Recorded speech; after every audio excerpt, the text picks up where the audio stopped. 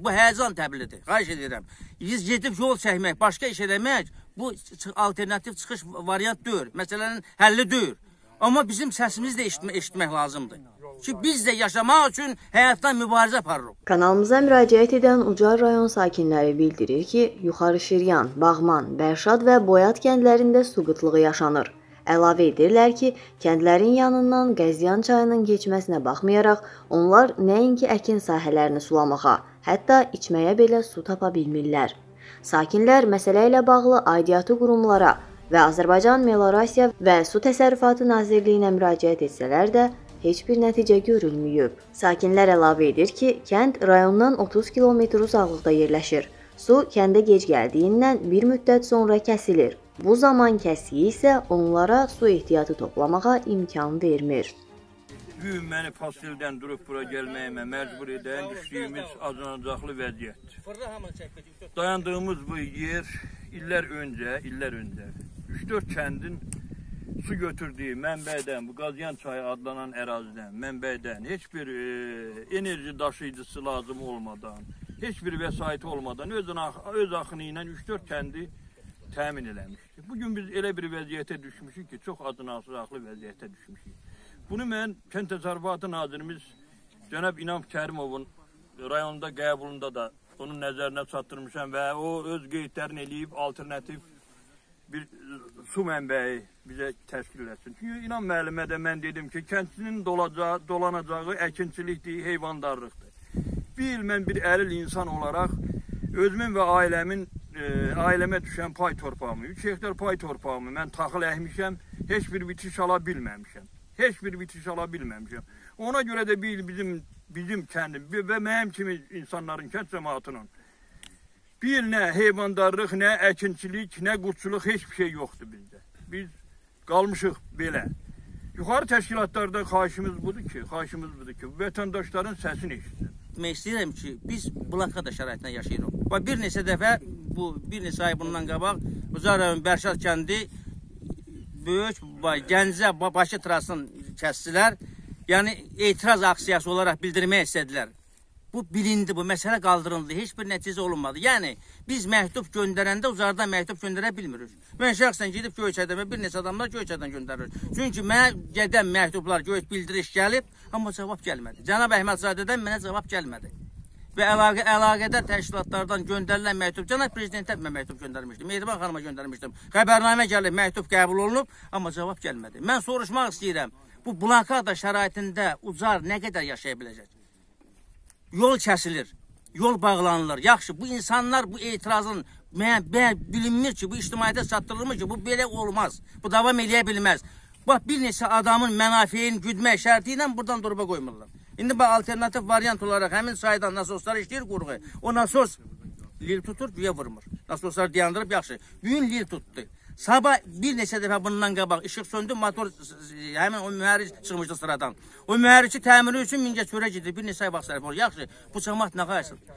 O nazirlərin orada yuxarıda oturan nazirlərin maaşları var. Aylıq onlar məvaciblər var və bazar da doludur onlar üçün. Amma bizim ya maaşımız yoxdur. Bizim torpağımızdan da istifadə edə bilmirik. Rayondan 30 kilometr aralıda yox. Bu nasosla vurulan su gedib 30 kilometr bizim kəndə düz 2 sutkaya çatır və dağda kəsilir, verilir qoşu kəndə. Xahiş edirəm, bu, əlaqədar təşkilatlar həyəcana gəlsinlər. Həyəcan, bu həyəcan təbliğidir. Xahiş edirəm. Biz gedib yol çəkmək, başqa iş eləmək, bu alternativ çıxış variant deyil. Məsələnin həlli deyil. Amma bizim səsimizi də eşitmə, eşitmək lazımdır. Ki biz də yaşamaq üçün həyatdan mübarizə aparırıq. Vətəndaşlar kəndə suyun nasos vasitəsilə nizamsız verildiyini bildirir. Əlavə edirlər ki, əlavə xərc tələb olunmadan çaya boru yerləşdirməklə təbii yolla kəndin su ehtiyatını minimuma endirmək mümkündür. Amma biz təbii yolla yağışın gələn suyundan alternativ öz axını ilə istəyirik. Bax həmin bax bu çayın, çayın köhnə yatağını bərpa eləyərək da davamlı su gəlsin. Əgər çayda varsa gəlin. Hər iki halda bizə su bu çaydan gəlir.